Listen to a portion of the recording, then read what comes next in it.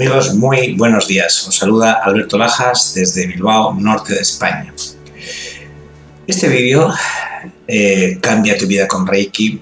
He pensado hacerlo porque faltan apenas 10 días para que yo pueda mm, impartir el curso que daré online experto en Reiki de Rafael.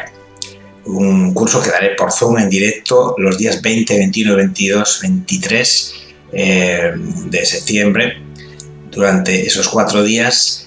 Los tres primeros los voy a emplear para dar el nivel 1, nivel 2 y nivel 3 de Reiki Usui y el último día eh, impartiré o daré un protocolo de Reiki de Rafael para potenciar el Reiki, sobre todo en, estados eh, profundos de espiritualidad o problemas con el karma y otros, donde digamos que el Reiki Usui quizá pueda estar limitado. A 10 días, como digo, de impartir este curso, he entendido que eh, solo hay 15 alumnos apuntados y no hay más, quizá porque a pesar de que, de que el Reiki es mundialmente conocido y que está reconocido por la Organización Mundial de la Salud, sigo teniendo la sensación de que la gente sigue sin entender lo que es el Reiki y por ello este vídeo y todos los que haga falta que haré posiblemente. El Reiki es verdad que nació eh, o se hizo popular gracias a Mikao Usui. Eh, Mikao Usui fue un impulsor de la sanación por imposición de manos y además se hizo famoso porque recibió una serie de símbolos sagrados en una meditación que hizo eh, allí en Japón, en un monte. Pero antes de nada, hay que aclarar, siempre me gusta aclararlo, porque aunque tiene su mérito Mikao Sui, he de decir que el método por imposición de manos ya se empleaba miles de, años antes. El mismo Jesucristo eh, sanaba imponiendo sus manos. El Reiki es una terapia, es verdad, pero antes que una terapia debe, debería ser una forma de vida. Es decir, em, cuando un cirujano o un dentista o un médico experto en cualquier otra rama eh, trabaja en su hospital o en su clínica y termina, se va a casa y ya no quiere saber nada de, de, su profesión, ¿verdad? Ahí acabó su trabajo. En Reiki no es igual, es decir, no imponemos las manos al paciente en nuestra camilla, el paciente se va, nosotros nos vamos a nuestra casa y nos olvidamos de Reiki porque como digo, el Reiki debe, debe de ser una forma de vida, no solo una terapia. El fin del Reiki es verdad que es equilibrar eh, los centros energéticos, los siete chakras principales y limpiar el aura. Y el fin también es canalizar. El reikista canaliza eh, esa energía universal, chi, el ki, el prana, eh, el Espíritu Santo, canaliza esa energía para trasladarla a la persona que quizá no tenga esa energía equilibrada, como digo. Pero hay una parte, parte importante. Yo no puedo darte lo que no tengo. Es una frase que yo he empleado mucho en conferencias y en cursos. ¿Cómo en Reiki te voy a dar energía de amor sanadora si yo no la tengo o si yo estoy enfermo? Por tanto, por ello, ahí es donde comienza la comprensión y, el entendimiento de que el Reiki es una forma de vida porque tiene que empezar el Reiki por ti. De hecho, en el primer nivel que sea de Reiki es un nivel de autosanación. Es decir, hasta el nivel segundo el reikista no puede imponer las manos a otros. Porque, insisto, repito, ¿cómo puedo eh, sanar a otros o ayudar a sanar a otros, que sería más correcto, si yo no estoy bien?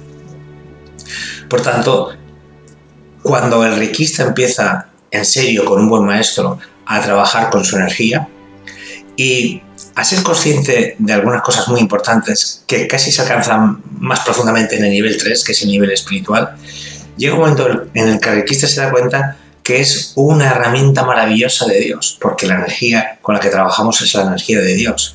No puedes decir, te voy a dar mi energía, que algunos requistas, utilizan esa expresión y es incorrecta dar tu energía, no, porque tu energía no tienes energía, la energía que tienes proviene de Dios, que entra por el séptimo chakra.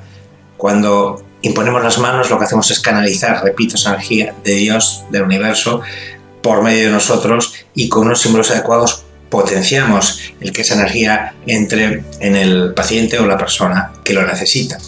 Por tanto, en el momento que el requista se da cuenta de eso, de que es una herramienta maravillosa, amorosa de Dios, es cuando el Reiki empieza a ser una forma de vida. Cuando te das cuenta de que no solo vas a ayudar a sanar dolores, enfermedades físicas, que es lo, más básico, ¿no? Pero es que los reikistas somos conscientes de que no somos este cuerpo, que esto es algo perecedero y temporal, sino que realmente somos la energía que hay dentro de este cuerpo, porque el espíritu que somos es energía. Y ese espíritu está conectado con Dios. Por tanto, llega un momento en el que el reikista se da cuenta de que el trabajo profundo verdadero que tiene con sus pacientes no está aquí, aunque comience aquí, nivel 1, comienza aquí. El trabajo verdadero que tiene el reikista es el de ayudar a la persona en su evolución eh, personal, en su misión en la tierra, en su, mm, en su espiritualidad, en una palabra. Porque hay varios movimientos de Reiki, Reiki Karuna, Reiki Usui, y otros reikis. Eh, creo que hay catalogados oficiales ciento y pico de reikis. Ahora los he olvidado Reiki de Los Ángeles, a Reiki Celta. Hay muchos tipos de reiki, pero todos tienen algo en común. Todos. Todos. Y es que el reikista, en todos los eh, tipos de reiki, el reikista es un medio, es un camino, no es la solución. Es decir, el reikista no tiene nada eh, suyo que pueda dar es un intermediario, repito como he dicho antes, entre Dios y el paciente. En el nivel 3 se puede llegar a sanar a distancia. ¿Y eso cómo es posible? Pues porque volvemos otra vez a el espíritu. Es decir, eh, desde el momento que requista avanza y profundiza en esa verdad, que es que somos espíritus, entiende que a quien hay que sanar es el espíritu. Y por ello, en este nivel 3 puede ser a distancia porque el espíritu no tiene tiempo, no hay calendario, no hay relojes. En el campo de lo espiritual, en la dimensión de lo espiritual, el tiempo y la distancia es una ilusión del ego, como dice un curso de milagros. Y por tanto, eh, cuando trabajamos desde distancia, incluso en mi caso, me he quedado asombrado de que he tenido más resultados sanando a distancia que cuando he tenido al paciente tumbado en mi camilla. Lo cual, después de muchos años, más de 20 años como riquista, me ha llegado a enseñar que cuando trabajamos con el espíritu y desde el espíritu hay, mm, vamos a decir, más poder, más, eh, más rapidez en la sanación, porque estamos trabajando con, con el ser que realmente somos. Y ahí, cuando llegas a ese punto, que es el, fin de este vídeo, es cuando te das cuenta de eso, de que realmente el Reiki no es una terapia, aunque está considerado como ella, sino es, es una experiencia, es una forma de vida, eh, es un entendimiento profundo, porque el reikista va avanzando. Sí, el reikista no se levanta cada mañana, coge a cuatro o cinco pacientes o los que sean, les impone las manos y, espera a, que mejore la salud de sus pacientes eso es demasiado trivial. El reikista cada día em, trabaja con su energía y eh, trabaja con la evolución de su ser interno. Cuando Reiki entró en mi vida, entró en un momento, como casi todo lo que pasa importante en nuestras vidas, en un momento de gran cambio de mi vida. Eh, me acababa de divorciar la madre de mis hijos, mi hermana Emilia estaba a punto de irse al cielo eh, y otras situaciones personales que pasaron que me hicieron replantearme mi vida. Esa palabra eh, tan fuerte que a veces eh, no entendemos hasta que ocurre eso en nuestra vida. Replantearte tu vida significa eso, sentarte y decir, ¿qué he estado haciendo hasta ahora? ¿O qué no he haciendo? Es decir, llega un momento en el que te das cuenta de que tienes que hacer más de lo que estabas haciendo. Y es cuando en ese momento apareció Reiki en mi vida. Primero para sanarme y llegar a una reflexión muy profunda de la misión que tengo y segundo, para ser un medio para ayudar a otros. El Reiki puede transformar tu vida, tu forma de pensar, tus hábitos, tu todo, todo, hasta tu economía, tu trabajo, todo. Porque los que no entiendan bien el Reiki y se limiten así a, verlo pequeñito, dirán que es una forma, un método de imposición de manos para equilibrar energía que va a mejorar pues problemas de insomnio, depresión, eh, no sé qué, no sé cuál. No, no, no, no. No limites al Reiki eso porque eso es ponerlo en el espacio más chiquitín. Y el Reiki es una energía de Dios, es la energía de Dios y Dios es infinito. Por tanto, eh, los resultados o el fin del Reiki es infinito y por ello ha habido personas cuando les he dado Reiki que han venido diciéndome que no saben cómo ha sido, pero sus vidas se han transformado, que mm, han meditado o han tenido em, ciertos pensamientos muy profundos que ni se habían imaginado. Y muchos que han querido profundizar más en el Reiki después de haber recibido varias sesiones de Reiki han querido ser reikistas. Es decir, personas que mm, se han sanado con Reiki han sentido que el Reiki es una forma de vida eh, excelente para ellos. Espero y deseo que entiendas que el Reiki no es una imposición, una forma de imposición de manos y que el Reiki enseña eh, principios muy importantes, por eso los cinco principios de Mikao Usui, eh, por hoy eh, no te enojes, por hoy trabaja duro, por hoy sea amable y agradecido, etc. Esos cinco principios, que los tocaremos también en, este curso, son una forma de vida, porque lo que quería transmitir Mikao Usui, y espero poder transmitirlo yo también en este curso, es eso, la capacidad de entender que la energía, porque somos energía, empieza por los pensamientos y por nuestras acciones. Es decir, la energía que se mueve en nosotros, positiva o negativa, repito, es influida por nuestros pensamientos. Si estás pensando siempre en miedo, en deudas, en problemas, pues tienes una energía negativa. Si estás pensando en amor, en ayudar, en altruismo, en, en cosas positivas, pues esa energía cambia. Por ello, es que digo que Reiki debe ser una forma de vida, porque ¿de qué sirve que yo te imponga las manos si luego en mi forma de vida estoy siempre eh, preocupado, eh, estoy enfadado, eh, no soy agradecido, no, no me esfuerzo en mi trabajo, no ayudo a los demás? Entonces, ¿de qué sirve que te imponga las manos?